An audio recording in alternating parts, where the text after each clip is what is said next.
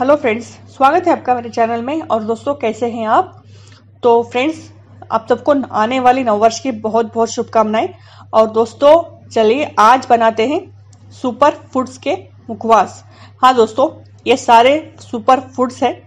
तो इनके मुखवास बनाना मैं आपको बताऊँगी। तो दोस्तों, ये स्पेशली सर्दी के लिए ही है। तो इंग्रेडिएंट्स देख लेते हैं। तो ये ग्रीन कलर के बड़े बड़े साइज़ के जो बीज दिख रहे हैं, ये है कद्दू के बीज। तो ये 50 ग्राम लिया है मैंने। साथ में ये वाइट कलर के बीज, खरबूज के बीज है तो ये भी 50 ग्राम है। ये दोनों 50-50 ग्राम। और साथ में मैंने ये दो कटोरी अलसी लिए हैं तो दोनों 50-50 ग्राम, यानी ये 100 ग्राम है। तो दोनों मिला के 200 ग्राम हो गए।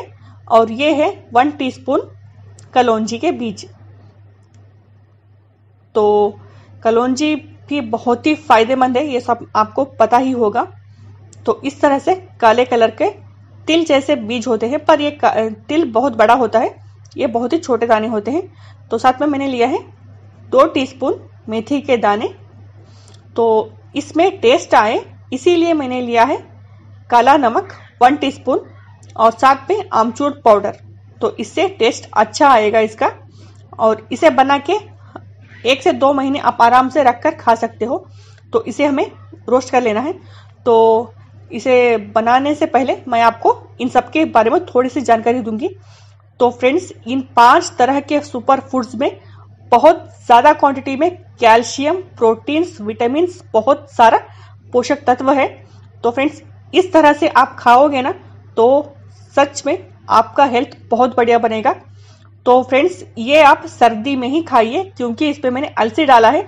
तो अलसी की जो होती है, वो गर्म होती है तासीर। तो इसीलिए आपको ये सर्दी में ही खाना है।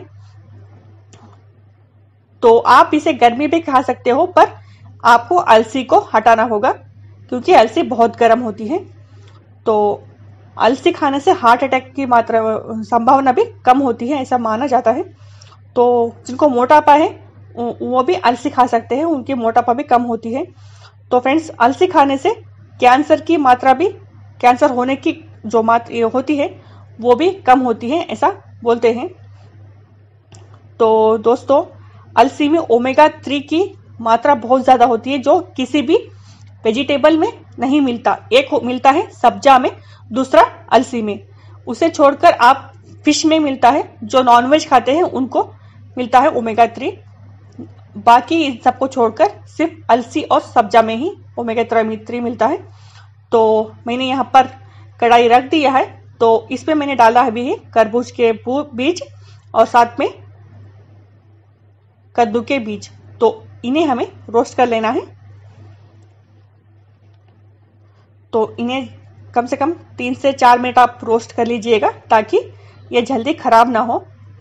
तो रोस्ट करने से इनकी लाइफ बढ़ जाती है तो आप दो महीने तक रखकर खा सकते हैं।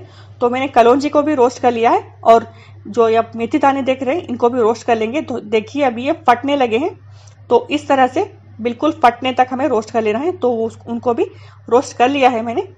तो अभी मैंने डाल दिया अलसी को। तो अलसी में थोड़ा सा पानी डालेंगे, ताकि ये जल्दी ना जले, क्योंकि ये जल्दी नहीं फटते तो इस इनमें पानी डाल दिया तो ये जल्दी नहीं जलेंगे और अच्छी तरह से ये रोस्ट होंगे। तो इसीलिए आपको इसमें पानी ज़रूर डालना चाहिए, दो या तीन बूंद। तो इसमें मैं काले नमक और आमचूर पाउडर डाल दूँगी और मिक्स करके अच्छी तरह से इन्हें रोस्ट कर लेना है। तो फ्रेंड्स, अलसी में बहुत ज़्यादा फाइबर कंटेंट होता है, बहुत ज़्यादा विटामिन होता है और डायबिटीज़ को ख़त्म करने की क्षमता भी अलसी में होती है, ऐसा बोलते हैं। और अलसी खाने से अर्थ, अस्थमा और अर्थराइटिस अर्थराइटिस भी कम हो जाती है। तो इसके, इसको लड़ने की क्षमता इसमें होती है। तो इसलिए आप अलसी ज़रूर खाइएगा, किसी भी रूप में खाइएगा।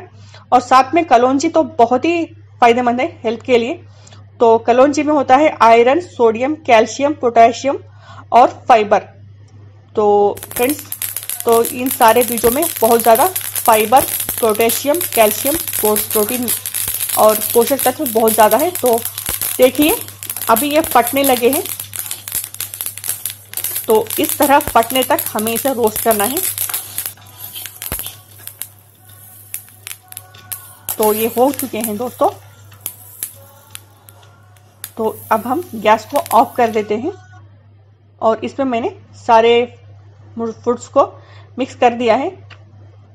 और इसे अच्छी तरह से मिक्स करके थोड़ा ठंडा होने देते हैं। ठंडा होने के बाद इसे हम एक बॉटल में भर के रख देंगे और आप इसे दिन में जब आप खाना खाते हो ना, खाना खाने के बाद इसे एक चम्मच मुखवास की तरह ले सकते हैं।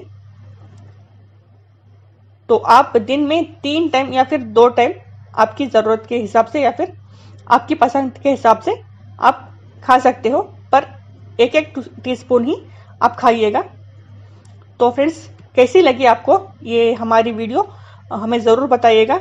अगर आपको अच्छी लगी तो शेयर, लाइक और सब्सक्राइब ज़रूर कीजिएगा। आपका बहुत बहुत धन्यवाद दोस्तों।